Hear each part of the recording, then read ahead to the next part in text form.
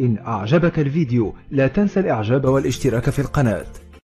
هل سمعت ببيت شعر للثعالب الذي يقول فيه إن الجزائر في أحوالها عجب ولا يدوم بها للناس مكروه ما حل عسر بها أو ضاق متسع إلا ويسر من الله يتلوه هذا البيت في مدح الجزائر يعود لما قبل الحكم العثماني وقبل سقوط الأندلس. يعني بيت شعر أقدم من الجمهورية الفرنسية. ربما يقول أحد المكرونيين هذا البيت يقصد بالجزائر المدينة وليست الجزائر دولة. وأنا سوف أترك لكم في التعليقات مقطع تأريخي وموثق يثبت لك بأنها دولة الجزائر. وسأترك لكم المقطع لأنه مجهود لشخص غيري وأنا لا أريد أن أخذ مجهود غيري. أردت أن أتكلم عن الجزائر لأن البعض أقنعك بأن الشعب الجزائري الذي حارب فرنسا النووية وحرر مساحة قارة هو شعب فرنسي وأن الدولة التي لا يربطها أنبوب غاز مع فرنسا هي دولة فرنسا تأخذ غازها. والدولة التي تتعامل مع المعسكر الشرقي العدو الأول لفرنسا والناتو هي دولة موالية لفرنسا. كيف يجتمع هذا في عقل واحد أنا لا أعلم. المهم يكررون الكذبة حتى تتقرر عند الناس. وهي الدولة التي أناشيدها الوطنية كلها حقد وتهديد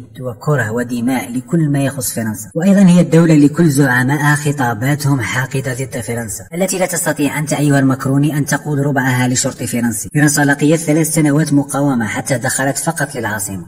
لكنهم أقنعوك بأن دخول فرنسا كان مجرد تسليم. استغرق دخول فرنسا للجزائر بالكلية 1927 لأن الشعب قاوم مقاومات ملحمية من الأمير عبد القادر لمقاومة أحمد باي لمقاومة الزعاتشة لأولاد سيد الشيخ للمقراني والحداد لمقاومة فاطمة نسومر إلى الشيخ بوعمامة إلى آخر مقاومة في صحراء الجزائر وهي مقاومة الطوارق. طبعا استمر الجهاد بالسيف والخيل والبندقية والحجر والقلم حتى قامت دعوة الإمام عبد الحميد بن باديس الدعوة السلفية النقية. وزملاء طبعا طيب العقبي والبشير إبراهيم يرحم الله الجميع. سافروا وتعلموا ودرسوا وعادوا لبلدانهم لتعليم الناس الدين والعربية. رجال همهم الجهاد ونصرة الإسلام ولغة القرآن. طيب العقبي استغرق ثلاث سنوات فقط لكي يشتري طابعة خاصة به لينشر مقالاته. لم يقعده إلا المرض والموت رحمه الله. شعب حافظ على دينه وأرضه وعلى هويته ولغته ضد حرب طمس الهوية وأشياء لا يمكن أن تتخيلها. أنت مجرد خيال هكذا لا يمكن أن تتخيلها. عندما يقول لك الجزائري أنه مع فلسطين فهو لا يقول هكذا. من فراغ. بل هذه طينته وهؤلاء أجداده.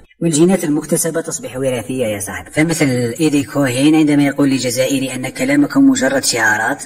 فهذا هو الجزائري يا كوهين. فلو اليهود لهم حرب مواجهة في تاريخهم دلنا عليها. إن شاء الله تكونوا حاربتوا جيش نعام. المهم أي حرب مواجهة. أي حرب مواجهة قمتم بها دلونا عليها. أو يقول الجزائر لا يعرفها أحد. هو عدد متابعي أم وليد أكثر من عدد اليهود في العالم. وما دام الجزائريون مجرد كلام فكلامك فيهم أيضا مجرد كلام.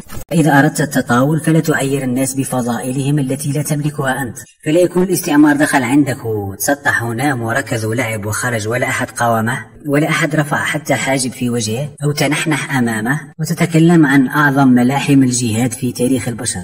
تحيا الجزائر.